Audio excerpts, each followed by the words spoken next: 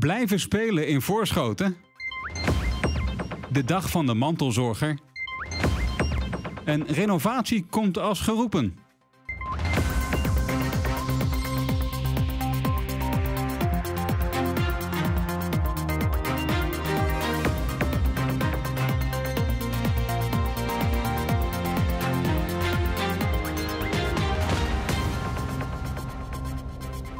Welkom bij het Unity TV nieuws van dinsdag 10 november. De Partij voor de Dieren vindt dat de jonge vluchtelingen in de Leidse noodopvang snel naar school moeten. Ruim 40 kinderen in de noodopvang aan de Wassenaarse weg hebben momenteel een schoolleeftijd. De partij is het niet eens met uitspraken van de verantwoordelijk wethouder dat deze kinderen voorafgaand aan de asielaanvraag nog geen recht op onderwijs hebben. Elk kind heeft gewoon recht op onderwijs, onder, ongeacht zijn status. Uh, deze kinderen uh, ja, die zijn in af, en hun gezinnen zijn natuurlijk in afwachting van hun status. Dat wordt door de IND ehm, eh, bepaald. Maar dat kan nog wel eens lang duren door die lange wachttijden.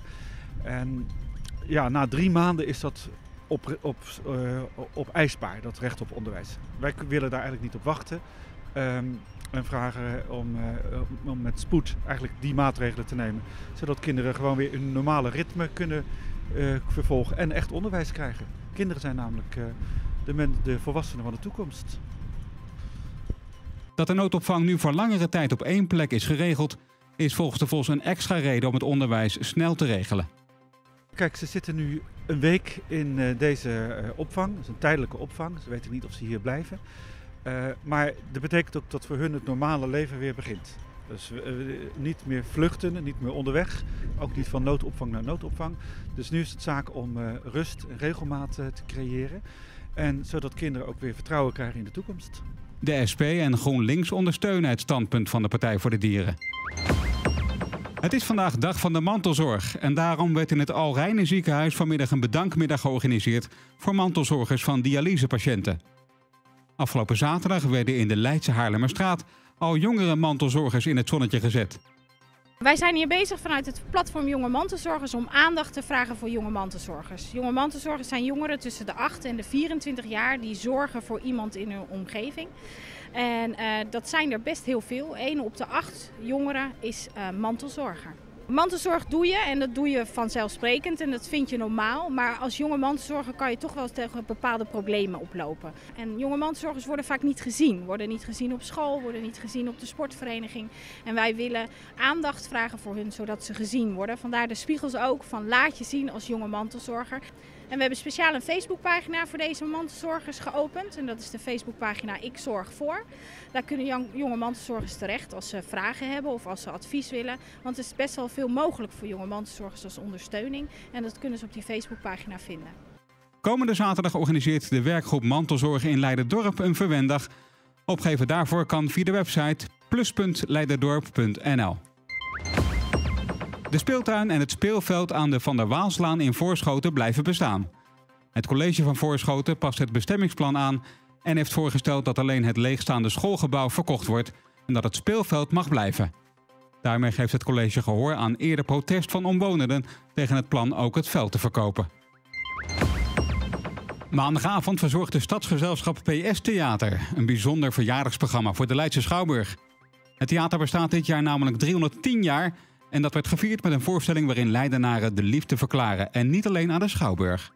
Het was 2003 dat ik mij probeerde te verkopen aan de stad. Aan het woord kwamen onder andere burgemeester Lemverink, Daan van der Zon en Nico Dijkshoorn, die allemaal op hun eigen manier lieten blijken hoe zij Leiden liefhebben. Het was ook een muzikale avond met mooie verhalen over de stad en de Schouwburg. Uiteraard werd de nieuwe foyer van het jarige theater in het zonnetje gezet en hier werd dan ook goed gebruik van gemaakt. Winkelcentrum De Stevensbloem is door Nederland Schoon uitgeroepen tot smerigste winkelcentrum van Nederland.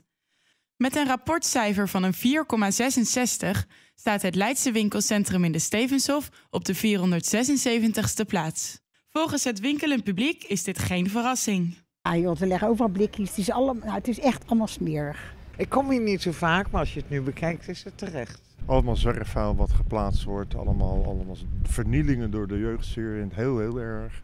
Dat iedereen alles uh, naast zich neergooit. En ja, slordig overal mee omgaat. Uh, de honden, stront, mag ik het zo zeggen, verschrikkelijk. Niet alleen het winkelend publiek, maar ook de ondernemers zelf bestempelen het winkelcentrum nu nog als onfris. Woordvoerster Jeannette de Bruin van de eigenaar van de Stevensbloem Urban Interest vindt dit jammer, maar ziet wel een positieve toekomst voor het winkelcentrum. Het ondergaat nu namelijk de nodige renovatie. Ja, het winkelcentrum was verouderd. De renovatie was ook echt nodig. Het winkelcentrum was eraan toe.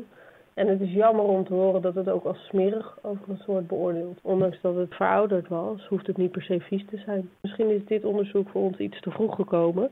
Wij gaan er ook vanuit dat na de renovatie een fris en modern nieuw winkelcentrum ontstaat. En dat wij volgend jaar een stuk beter uit de test zullen komen.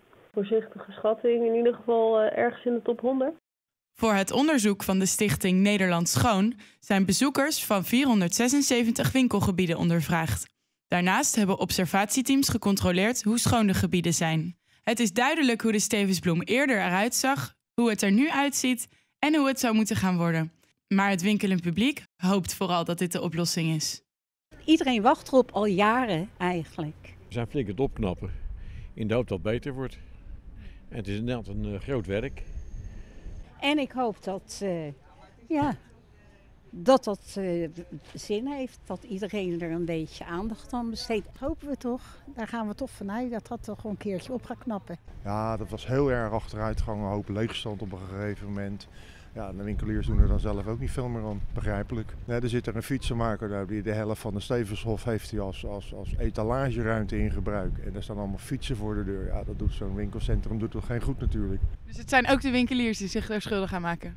Nou, schuldig wil ik niet zeggen. Hij maakt misschien gebruik van, uh, van, van de mogelijkheden die hem nu eigenlijk in het schoot geworpen worden. Het ziet er leuk uit al. En je ziet uh, de contouren zie je al dat het uh, toch meer winkels worden. En dat is alleen maar gunstig. En dan het weer. Vandaag was het een bewolkte en regenachtige dag. De weerfoto werd vandaag in Oegstgeest gemaakt door Lise van Duivenvoorde. Vanavond verandert er niets tot weinig. De wind zal blijven aanhouden en er kan wat motregen vallen. Het wordt ongeveer 13 graden. Morgen wordt het een bewolkte dag met veel wind en af en toe motregen. De temperatuur loopt op tot maximaal 16 graden. De rest van de week blijft de bewolking en wind aanhouden, wat gepaard kan gaan met zon en regen. De gemiddelde temperatuur ligt rond 13 graden. Tot zover deze uitzending van het Unity TV nieuws. Woensdag om 6 uur melden wij ons weer met een nieuwe uitzending. In de tussentijd houden we op de hoogte van het laatste nieuws via Unity FM of 105.7 FM en via onze website unity.nu. Fijne dag!